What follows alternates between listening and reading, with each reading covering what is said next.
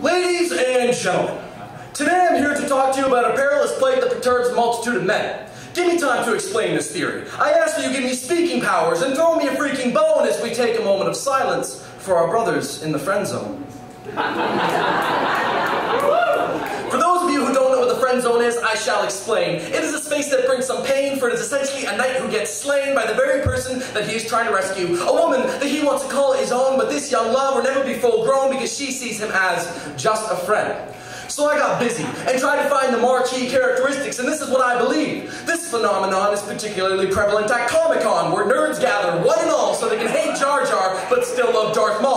Now, most nerds that I've talked to feel they're the most boned by the purgatory called the friend zone. So I've honed my research and created a theory. Be leery, I've thought this through quite clearly when it comes to the friend zone. This is what I think. The friend zone was created by Mario and Link. These two men of fictional fame created and entertaining video games both have the same goal, to rid the kingdom of evil and save the princess. Whether it's Super Mario Bros. or Legend of Zelda, these two fine fellas always have the same mission. Travel the kingdom, the world, and at the end they get the girl, right? Yeah. Wrong!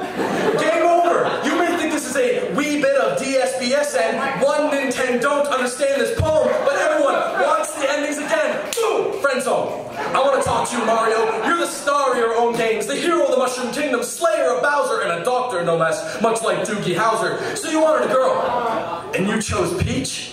Yo, she's out of your league, dude, that's a bit of a reach. I said, Yoshi is out of your league, dude, that's a bit of a reach. You thought that throwing some parties, going go-karting will get her on your team and bring sunshine to your galaxy? It's a dream. Mario, this escapade was a blunder. Your friend zone because no princess will ever date a shroom-addicted plumber.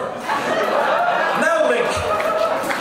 Hey, listen! Your games right now, I am reminiscent. Hero of the Kingdom of Hyrule, King, you would always beat, no matter the odds, You'd never admit defeat. But isn't it about time that you gave up on Zelda?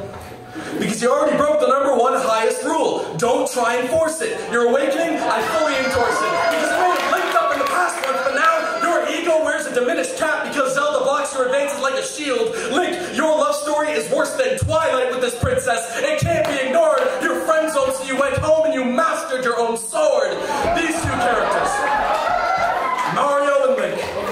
Are heroes to a generation, icons of an aggregation of nerds who have experienced frustration in their flirtations. And in our admiration, we forgot. They didn't win their princess at the end. Take from this what you will, but don't try and be her savior. See, any one of us can be a charmer, but it doesn't mean we have to squeeze into shining armor, because more often than not, heroes will fall. And shining armor can look a lot like a green tunic or blue overalls.